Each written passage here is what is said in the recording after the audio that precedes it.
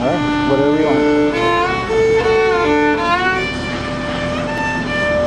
Let's see. Uh, how long have you got? Till the yellow line gets here. Oh, okay. I'll give you like three or four minutes worth. All right, sure.